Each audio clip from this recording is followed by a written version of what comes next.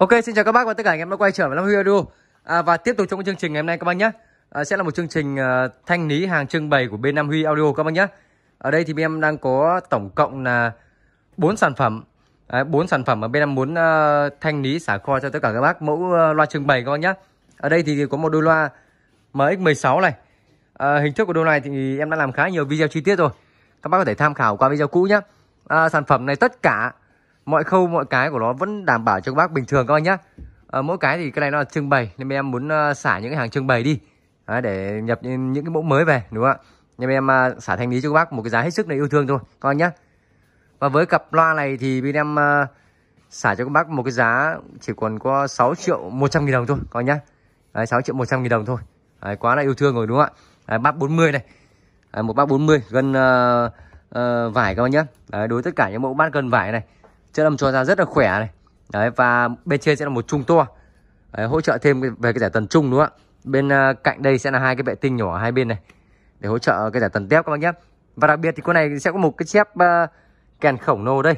Đấy, một cái chép kèn đây các bác nhé. Một chép kèn đây cho ra những tiếng chép rất là sáng rồi. Đấy model là MX16 con này chạy bằng à, 5 đường tiếng cơ bản thôi. Đấy, làm hoàn toàn theo công nghệ của Mỹ rồi các bác nhé. Hình thức bên trong sẽ là màu xanh. Đấy, tạo cái độ nổi bật hơn cho cặp loa các bác nhé. Các bác nhìn này. Đấy, tổng thể con này rất là đẹp luôn. Con này thì uh, nó to nhỉnh hơn một chút về với uh, loại SA12 các anh nhé Đấy, con này thì thanh lý trước bác 6 triệu mốt thôi. Đấy, khá là ok đúng không ạ? Một cặp loa.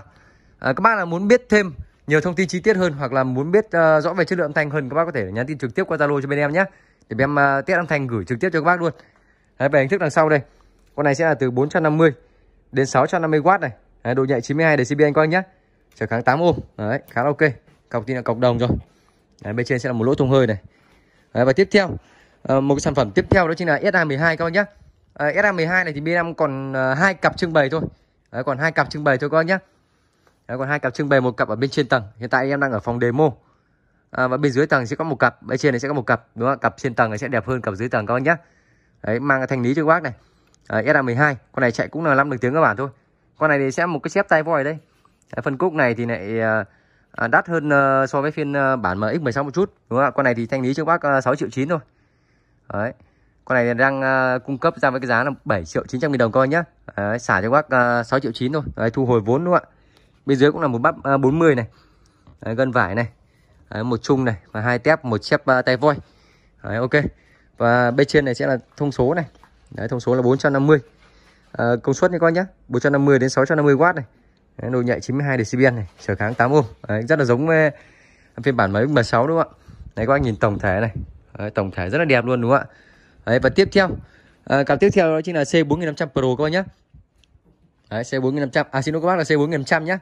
Đây là phiên bản à, C4500 thường. Con này chạy bằng 7 được tiếng thôi. Đấy, C4500 Pro thì à, 9 được tiếng cơ.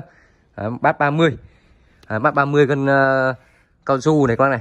Đấy, con cao su thì con này thiên về âm trầm rất là nhiều này à, con này tiếng bát rất là trong tiếng và sạch tiếng các bác nhé. Đấy gân uh, tẩm dầu. Đấy hàng trưng bày thì những cái bụi bặm này thì không tránh được các bác nhé. Đấy, hàng trưng bày mà đúng không ạ? Một chung to hỗ trợ này và một chung nhỏ này. Đấy, bên cạnh sẽ là ba cái vệ tinh. Đấy, hỗ trợ về giải tần tép. Bên trên này sẽ là một cái chép ken. Đấy, để hỗ trợ các bác uh, hát karaoke các bác nhé. Đấy, tiếng chép con này cực kỳ sáng rồi. Con này chạy bằng 7 đường tiếng các bạn thôi. Đấy, các bác muốn biết nhiều thông tin chi tiết hơn về con này thì có thể liên hệ trực tiếp qua bên em nhé em và tiếp theo một sản phẩm uh, uh, cực kỳ khủng bố đấy các bác nhá. Một cục súp uh, đến từ thương hiệu em Pro. Thanh lý cho các bác uh, 3 triệu 500 nghìn đồng các bác nhá. Đây là một sản phẩm trưng bày. Đấy, hình thức rất là đẹp luôn đối với con này. Đấy, con này hình thức rất là đẹp này. Đấy, mỗi tội là hơi bụi một chút thôi. Đấy, thanh lý cho các bác. Đấy, con này công suất cực đại con này sẽ là từ 1.000 đến 1.500W các bác nhá. Đấy, bên trên sẽ là một nỗ cọc để các bác có thể chơi những uh, đô la full hoặc những đôi bát 30 bên trong này sẽ là một bát 40 này ngân cao su này. Đấy, con cao su thì thiên về âm trầm là nhiều rồi. Đấy, đánh chống rất là lực rồi các bác nhé bên dưới sẽ là logo của em Pro này.